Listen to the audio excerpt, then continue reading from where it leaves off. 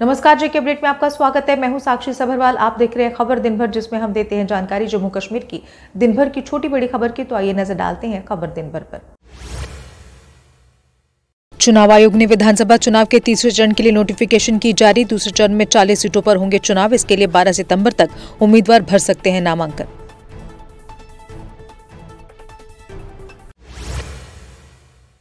उमर अब्दुल्ला ने बड़गाम सीट से भरा अपना दूसरा नामांकन। एक दिन पहले गांधरबल में हुए थे भावुक। अब सेफ़ सीट की तलाश में नज़र आ रहे उमर अब्दुल्ला।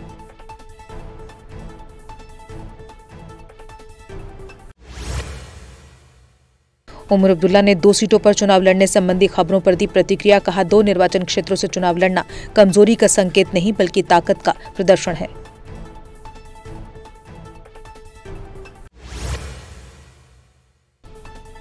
पीडीपी ने उमर अब्दुल्ला के दो सीटों से चुनाव लड़ने की की आलोचना। गुलाम नबी हंजूरा ने जनता के समर्थन पर उनके विश्वास पर उठाए सवाल। कहा लगता है कि उन्हें जनता पर नहीं भरोसा। अलगावादी नेता सर्जन बरकती गांधरबल और बीरवा सीटों से लड़ेंगे चुनाव। आदिल नजीर खान ने कहा, सर्जन बरकती लोकतांत्रिक प्रक्रिया में शामिल होने के इच्छुक, उन्हें ऐसा करने की अनुमति दी जानी चाहिए।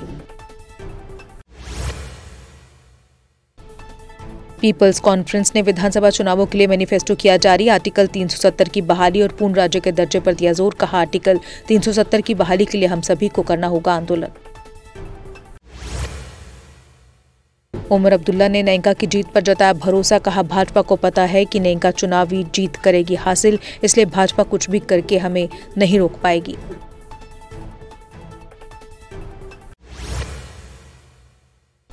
भाजपा नेता व सांसद अनुराग ठाकुर ने नैंका कांग्रेस गठबंधन की की आलोचना, कहा जम्मू कश्मीर को फिर से अराजकता, आतंकवाद की आग में झोंकना चाहते हैं कांग्रेस नैंका उन्होंने शांति और विकास के लिए भाजपा का समर्थन करने की अपील की। केंद्रीय मंत्री डॉक्टर जितेंद्र सिंह ने राज्य का दर्जा बहाली को लेकर दी प्रतिक्रिया। कहा, जब प्रधानमंत्री मोदी कह चुके हैं कि सही समय पर की जाएगी दर्जा बहाली तो इसमें चर्चा की कोई ज़रूरत ही नहीं है। कांग्रेस प्रदेश अध्यक्ष तारिक हमीद करा ने भरा अपना नामांकन। इससे पहले करा ने बटमालू में अपने समर्थकों के साथ की थी बातचीत। कर्रा सेंट्रल शालटांग से लड़ रहे हैं चुनाव।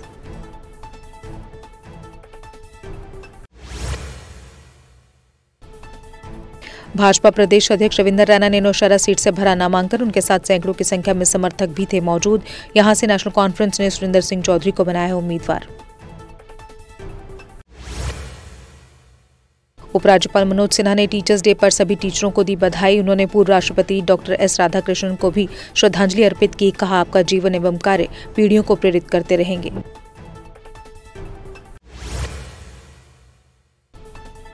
कांग्रेस प्रदेश अध्यक्ष तारिक करा ने भाजपा पर साधा निशाना। कहा, निर्दलीय उम्मीदवारों को वोटों के बंटवारों के लिए प्रेरित किया जा रहा।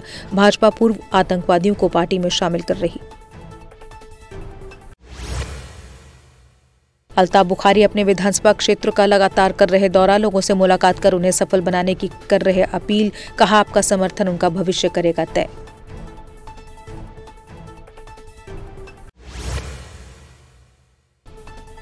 कठुआ में तीसरे चरण के नामांकन के लिए कालीबाड़ी से रूट किया गया डाइवर्ट सुबह 11 से दोपहर तीन बजे तक कालीबाड़ी से नहर चौक तक वाहनों पर रही रोक। इसके अलावा शहर के अन्य सड़कों पर ट्रैफ़िक रहा सामान्य। कांग्रेस के पूर्व मंत्री रहे एजाज खान ने आज आज़ाद उम्मीदवार के तौर पर भरा नामांकन। एजाज खान गुलाबगढ़ विधानसभा सीट से लड़ेंगे चुनाव। उनके साथ बड़ी संख्या में उनके समर्थक रहे मौजूद।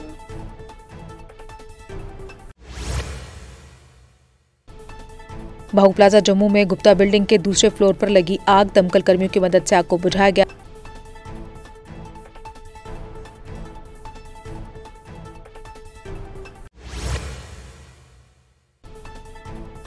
अवतार सिंह मर्डर केस को लेकर परिवार ने लगाए गंभीर आरोप, कहा सरकारी वकील न मिलने के कारण नहीं हो रही सुनवाई।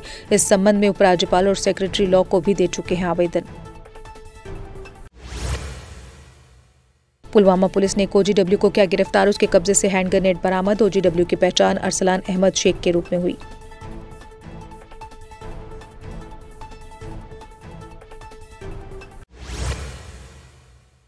जम्मू कश्मीर सरकार ने इंजीनियर रशीद के भाई के सेवानिवृत्ति के आवेदन को किया स्वीकार। खुर्शीद अहमद शेख मावर के स्कूल में कार्यरत थे। खुर्शीद की लंगेट क्षेत्र से एआईपी के उम्मीदवार होने की संभावना। रामबन की पंचायत बींगरा में एक घर जलकर खाक। स्थानीय लोगों के सामूहिक प्रयास से आग को बुझाया गया। लोगों ने पीड़ित परिवार को मुआवजा देने की मांग की।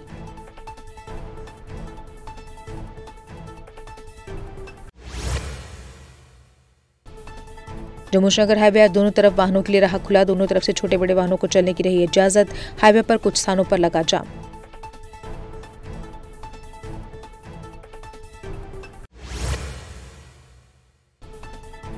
जेएलआई संगठन द्वारा आज ब्लड डोनेशन कैंप आयोजित किया गया। इस दौरान रक्तदान, महादान के प्रति किया गया लोगों को जागरूक, समाज की भलाई के लिए काम करने पर किया गया सम्मानित।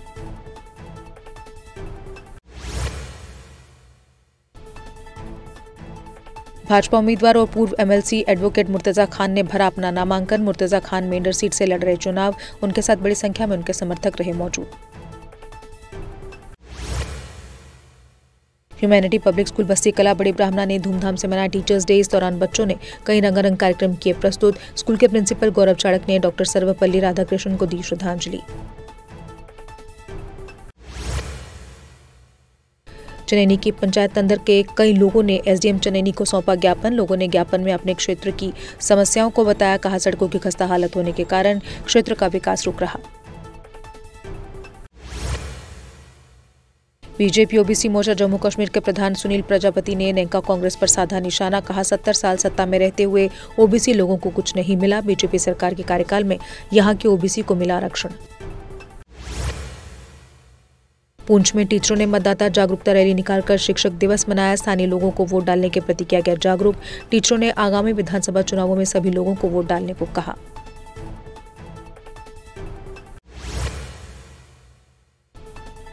गांधरबल के इंडस्ट्रियल एरिया में स्थित एक फैक्ट्री में लगी भीषण आग। कड़ी मशक्कत के बाद आग पर काबू पाया गया। आग लगने के कारणों का नहीं चल पाया पता।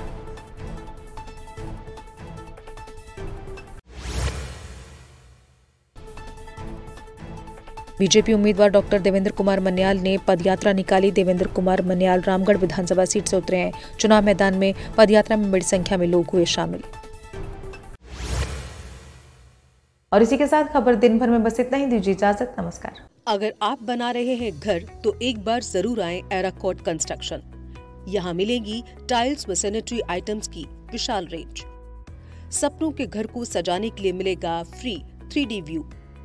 हम दे रहे हैं सबसे किफायती दामों पर टाइल्स व सैनिटरी आइटम्स क्योंकि हम हैं जम्मू कश्मीर का सबसे बड़ा टाइल्स व सैनिटरी आइटम्स स्टोर एक बार ब्रांड टू ब्रांड रेट ज़रूर कंपेयर करें। शॉपिंग के दौरान आपके बच्चों के लिए हमने बनाया है किड्स जोन आपके घर को सजाने के लिए हमारे प्रोफेशनल्स देंगे फ्री साइट विज़िट हम आपको देंगे फ्री होम डिलीवरी हमारा पता है एराकॉट construction Saror Adda, Bari Brahmana. Mobile number nine zero seven zero five eight double four double four. Nine zero seven zero three one double four double four. Jammu Kashmir की खबरों के लिए जुड़े रहिए GK update के साथ।